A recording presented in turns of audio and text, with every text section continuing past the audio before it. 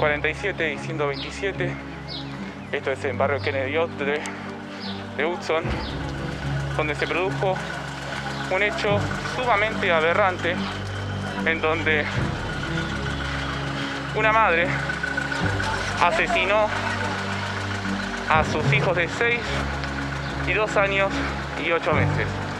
El hecho se produjo alrededor de las 11 de la mañana y en el lugar trabaja personal de policía científica, como así también de la comisaría cuarta de Uxor. Según comentan las fuentes policiales, el hecho se produjo alrededor de las 11 de la mañana en una casa ubicada en 127 entre 47 y 48 del barrio Kennedy Norte de Hudson. Allí, la mujer de 23 años asesinó a sus hijos de 6 y 2 años y 8 meses de edad. A uno lo acuchilló y a otro lo envenenó.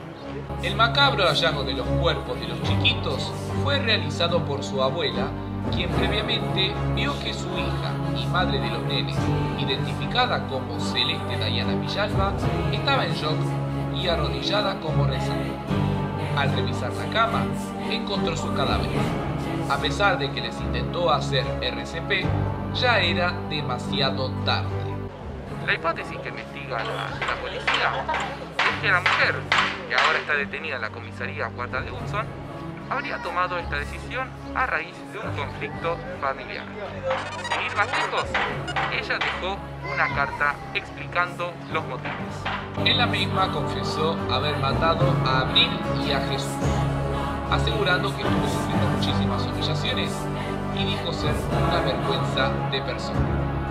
En la misma que iba dirigida hacia los padres de Celeste, dijo que quería estar con sus hijos para siempre, pero se los iban a sacar y no querían que sus hijos sufrieran humillaciones, violaciones, decepción y vivan con odio por lo como no supo decir en el momento que tenía que hablar con Walter, el padre de los nenes. Ella confiesa que los ama y que tomó esta decisión para evitar que sigan sufriendo. Según se pudo saber, ella después de cometer el crimen y delante del personal policial y algunos familiares, ella intentó quitarse la vida, pero rápidamente fue reducida y aprendida y trasladada hacia la comisaría cuarta de Hudson, donde permanece detenida.